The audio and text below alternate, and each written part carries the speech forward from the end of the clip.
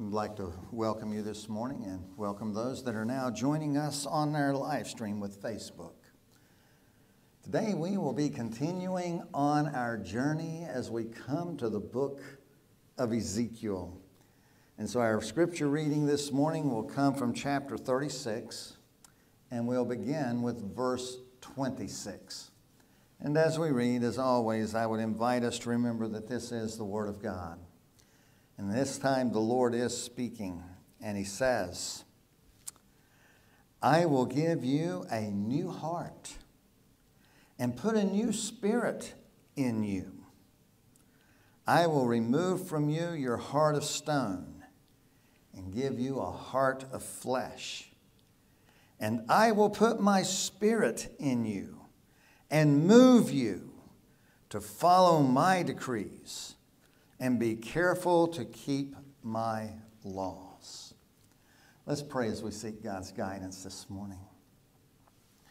Lord, we come before you, inviting you to speak to our hearts. Lord, I come acknowledging I am utterly dependent upon you. And I know I can never teach this word without the anointing power of your Spirit. So, Lord, I ask that you would just flood me with the power of your Holy Spirit. I ask, Lord, for your cleansing, that you would make me a vessel that is clean and fit for your use. For I acknowledge my transgressions to you. I pray for each one listening, Lord, and I ask that your Holy Spirit will speak to our hearts. You know exactly what each one of us needs to hear today. And so, Lord, we know that it's your Spirit that can speak to us. And so we invite you to come into our hearts and lives. Invade us with what you want us to hear. And it's in that precious name of our Lord Jesus that we pray. Amen. Ezekiel was born into a priestly family. He grew up in Judah. And as a young man, he experienced the trauma of being carried off into captivity in Babylon, along with the king, Jehoiachin, and about 10,000 others. At the age of 30, Ezekiel was to become a priest, and the Lord had other plans. Maybe you've experienced that. You think you have everything planned out, and then the Lord intervenes with a totally different plan. And rather than becoming a priest, the Lord calls Ezekiel to be a prophet. Now, it would have been much easier for Ezekiel to remain a priest. After all, the priests are highly respected. And prophets, on the other hand, are not. Prophets are most often despised. And one of the big reasons for that is that people don't like having their sins pointed out. And that's what prophets do. And so prophets are often seen as being intolerant or mean spirited. And by the way, things haven't changed much. But you add to that that prophets are also misunderstood. Especially Ezekiel. You take his stunning visions and his symbolic acts and they caused him to be misunderstood. He was thought to be strange. In fact, even today, there are some modern scholars that will suggest that Ezekiel was mentally ill. And what amazes me is that even some modern theologians don't understand prophets. It's amazing how someone can profess to be an expert on the prophets in the Bible, and you still don't understand them. And yet, I think sometimes this misunderstanding is really more of an act of convenience. It's easy to dismiss someone if you see them as being weird or mentally ill. But you can't just dismiss prophet. And so I think sometimes it's also that we can pretend that they're not proclaiming the actual Word of God. Ezekiel was the first of two prophets during the time of the Babylonian exile. The other prophet is Daniel, and we'll talk about Daniel next week. But Ezekiel prophesied during the first 22 years of that exile. He began prophesying seven years before the temple was destroyed. And then, of course, if you do the math, for 15 years after that. And his book is built around three visions.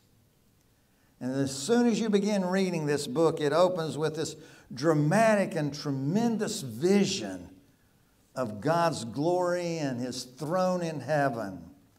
In verses 4 and 5 of chapter 1, we read I looked, and I saw a windstorm coming out of the north, an immense cloud with flashing lightning and surrounded by brilliant light. The center of the fire looked like glowing metal, and in the fire was what looked like four living creatures. In appearance, their form was that of a man, but each of them had four faces and four wings. And so, as Ezekiel has this vision, he begins and he sees these four living creatures, each of them having four faces the face of a man, and an eagle, and an ox, and a lion. And they're highly symbolic. The face of a man symbolizes intelligence and understanding and wisdom. Well, at least most of the time. The face of an eagle represents power and deity.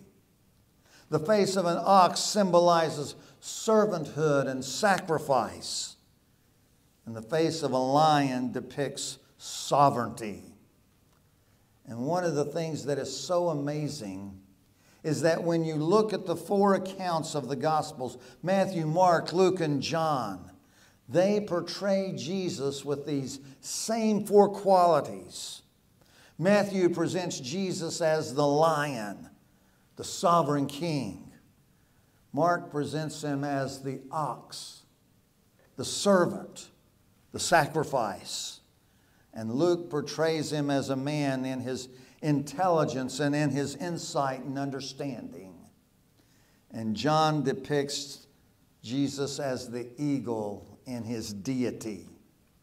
And it's actually, you have to take all four of these symbols to even come together representing the character of Jesus. Now, after this, Ezekiel sees these wheel shaped objects they're intersecting wheels, a wheel within a wheel, and he describes just how majestic they are.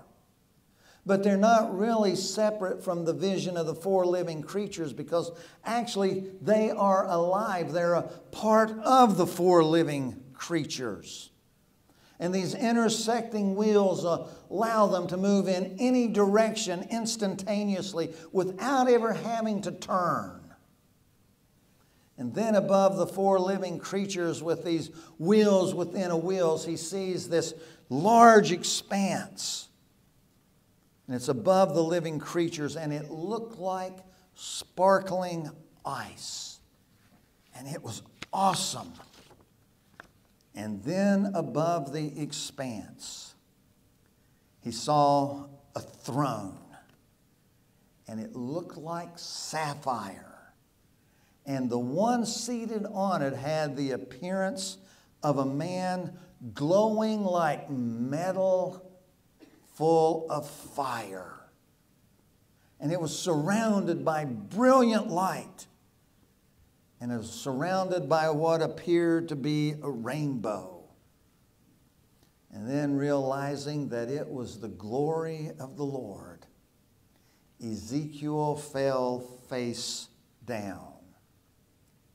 And Ezekiel's vision of this throne in heaven is very much like John's that we read about in the book of Revelation.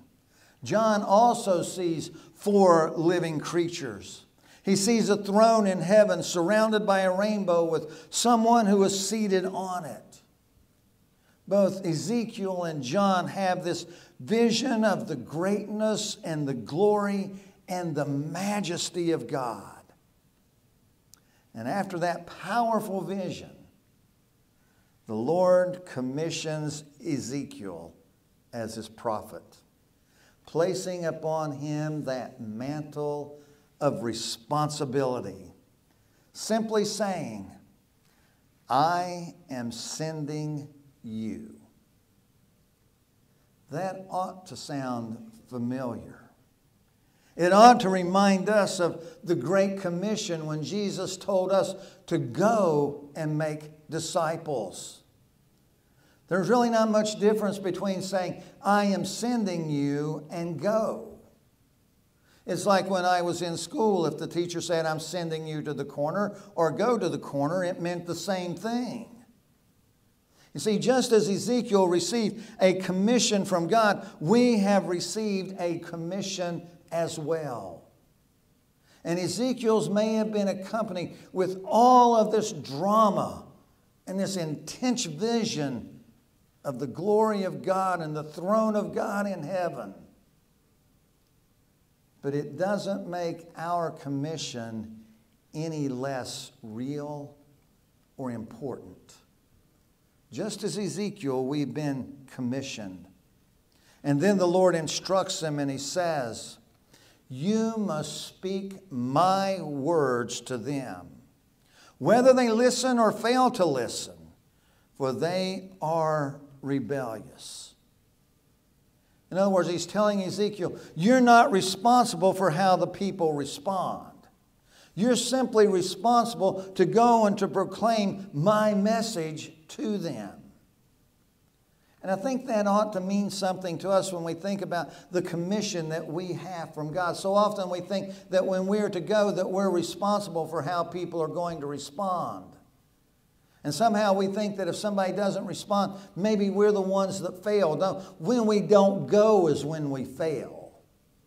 When we won't share is when we fail. We're not responsible for how they respond. We're simply responsible for taking the Word of God and sharing it with others. And then the Lord gives Ezekiel a scroll, and he commands him to take it and eat it. Sounds strange, doesn't it? And so, what does Ezekiel do? Well, I hope he did what you would do. The Lord commanded you to take the Bible and eat it. Hopefully, that's what you would do. And so Ezekiel takes the scroll and he eats it and he says, So I ate it and it tasted as sweet as honey in my mouth. In fact, that's how the psalmist describes the Word of God. How sweet are your words to my taste, sweeter than honey to my mouth. And I think as disciples of Jesus Christ, it's reminding us of the importance of us getting into the Word of God and that His Word ought to be sweet to us. And when He's eating it, it gives us this tremendous image that we're to be digesting the Word of God.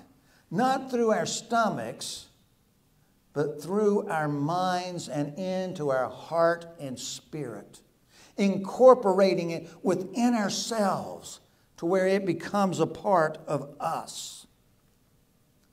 And then in the next section, we find Ezekiel's vision of God's judgment. And the Lord begins with a lesson on responsibility. The first thing that he addresses is Ezekiel's responsibility. And so we really need to listen to this because as we've been commissioned, our responsibility is not any different. The Lord says in chapter 3, verse 18 and following When I say to a wicked man, You will surely die, and you do not warn him or speak out to dissuade him from his evil ways in order to save his life, that wicked man will die for his sin. And I will hold you accountable for his blood. But if you do warn the wicked man, and he does not turn from his wickedness or from his evil ways, he will die for his sin, but you will have saved yourself. Wow. See, that's responsibility, isn't it? That's the responsibility that we have concerning the commission that Jesus gave us to go and make disciples. That if we don't go, people are going to die. And when they die, if they don't know Christ, they're going into eternity without Him. And we need to understand when they go into eternity without Christ, they're going into an eternal hell. And he says, I will hold you accountable. That's called responsibility. We are our brother's keeper. Now, a little later, God instructs Ezekiel concerning personal responsibility and accountability. He's addressed his responsibility as a prophet, our responsibility as disciples. But then he also talks about personal responsibility and accountability. In chapter 18, he says, The soul who sins is the one who will die. The righteousness of the righteous man will be credited to him, and the wickedness of the wicked man will be charged against him. But if a wicked man turns away from his sins he has committed and keeps my decrees and does what is just and right, he will surely live. He will not die. None of the offenses he has committed will be remembered against him. Do I take any pleasure in the death of the wicked? Rather, am I not pleased when they turn from their ways and live? You see, in this passage about all of this accountability and how we're personally accountable, you still hear that tremendous message of God's love, His grace and forgiveness. God doesn't take any pleasure in anyone going into eternity without Christ. He takes no pleasure in anyone spending eternity in hell. What is he looking for? He's looking for people who will actually turn to Jesus Christ and experience the forgiveness of their sins and allow him to transform their lives. That's why he sent his son.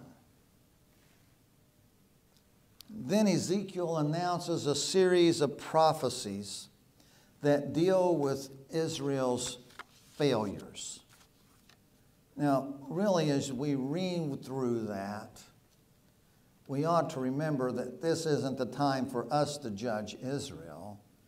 It's a time for asking, Am I guilty? Because their sins actually are just an example of the same sins that we all are committing. It's the sins of the world as well. And then Ezekiel has a vision and he sees the glory of the Lord departing from the temple. It begins once again with him seeing a vision of a throne in heaven and the four living creatures and the intersecting wheels and this time he identifies the four living creatures as cherubim. And then he sees the glory of the Lord in the temple. and it begins rising up and leaving the inner court and crossing the threshold as it goes into the outer court and moving through the threshold of the outer court of the temple, moving towards the east gate, then moving towards the Mount of Olives, and then upward towards the sky. And the glory of God has departed from his temple. And so he begins by talking about this absence of the presence of God because of the people's rebellion. He talks about how God has struggled with his people.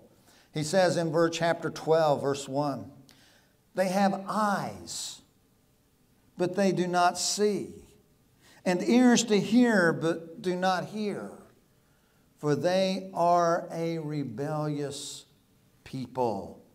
He tells how the Lord has been striving to get their attention because he wants to bring them back into a right relationship with him. Maybe you've even experienced that. The times when we have strayed away from the Lord and how his Holy Spirit strives with us trying to get our attention, getting us back on the right path. And he wants his people to understand that without him, they are doomed to foolishness and degradation. That without him, they're going to experience heartache and punishment. And all of this is so that he can bring them to their senses and to get their attention, he has Ezekiel present his message in these dramatic and symbolic ways. Then Ezekiel announces the coming judgment of the Gentile nations. And he takes up a lament concerning the king of Tyre. And as you read through this, it very well may be a description of the fall of Satan. Listen to this. Chapter 28. You were the model of perfection, full of wisdom and perfect in beauty. I know he's not talking about me. You were in Eden, the garden of God. Every precious stone adorned you. You were appointed as a guardian cherub, for so I ordained you. You were blameless in your ways from the day that you were created till wickedness was found in you. Through your widespread trade, you were filled with violence and you sinned. So I drove you in disgrace from the mount of God, and I expelled you, O guardian cherub. Your heart became proud on account of your beauty. And you were corrupted, I'm sorry, and you corrupted your wisdom because of your splendor. So I threw you to the earth. I made you a spectacle. All the nations who knew you are appalled at you. You have come to a horrible end and will be no more. And then you come to the last section of Ezekiel, the third vision. And it is a vision concerning the restoration of Israel. Remember, they're going into captivity, but he's also promising God's presence. And so Ezekiel presents the grace of God in a powerful vision of God restoring the dead. Lord takes him and he asks him what he sees, and it's a valley full of dry bones. And then, at the command of God, the bones begun, are joined together again. And yet, there's no breath in them. And then God breathes on them, and they come to life. And it's a picture of what God intends to do for the nation of Israel. In fact, he goes on in chapter 37 and he says, I am going to open your graves and bring you up from them. I will bring you back to the land of Israel. I will put my spirit in you, and you will live. It's a picture of new life. Not only is it a picture of Israel, really, it's a picture of what God does for us. Because we're dead in our sins and transgressions as well. And because of Jesus Christ, when we come to know Him, He breathes new life into us. And when you come to know Jesus Christ, His Spirit comes and lives within us. And He gives us that same, I will put my Spirit in you, and you will live. And then Ezekiel looks into the distant future. He sees the final attack against the people of God, Israel. And when Israel's enemies come against them, they will be met with heavenly forces that will utterly destroy them. I've shared with you, God's not through with Israel. They're still his chosen people. God has not abandoned Israel. And I pity anyone who comes against them. And then Ezekiel sees the restoration of the temple, and the glory of the Lord returns to the temple. Once again, it's that promise of the presence of God. And the book closes with this tremendous vision of God's throne. I love this passage. I want to share it with you. It's 12 verses in chapter 47. He says, The man brought me back to the entrance of the temple. And I saw water coming out from under the threshold of the temple toward the east, for the temple faces east. The water was coming down from under the south side of the temple, south of the altar to hold on to that. He then brought me out through the north gate and led me around the outside to the outer gate facing east. And the water was flowing from the south side. As the man went eastward with a measuring line in his hand, he measured off a thousand cubits. Now, a cubit's roughly 18 inches. It's from the tip of your elbow to the tip of your finger. And then he led me through water that was ankle deep. He measured off another thousand cubits and led me through water that was knee deep. He, led, he measured off another thousand and led me through water that was up to the waist. He measured off another thousand, but now it was a river that I could not cross because the water had risen and was deep enough to swim in a river that no one could cross. And he asked me, Son of man, do you see this? Then he led me back to the bank of the river. When I arrived there, I saw a great number of trees on each side of the river, and he said to me, This water flows towards the eastern region and goes down into the Araba, that is, the desert, where it enters the sea, that is, the Dead Sea. When it empties into the sea, the water there becomes fresh. Swarms of living creatures will live wherever the river flows. There will be large numbers of fish because this water flows there and makes the salt water fresh. So, where the river flows, everything will live. Fruit trees of all kinds will grow on both banks of the river. Their leaves will not wither nor will their fruit fail. Every month they will bear because the water from the sanctuary flows to them. Their fruit will serve for food and their leaves for healing. That is really a vivid picture of what new life in Jesus Christ looks like. Jesus said, If anyone is thirsty, let him come to me and drink. And whoever believes in me, as the scripture said, streams of living water will flow from within him. And so Jesus is that river of life. And one of the first things that river did as it flowed through the temple was it went past the altar. And the altar is the place of sacrifice. You see, that's the way of the cross. And then the river grows quickly. As it begins flowing down that valley, it grows and it grows, and yet he doesn't mention any tributaries. Now, it's natural for rivers to grow, that's what rivers do. But there's usually something flowing into them. And this one just seems to miraculously grow.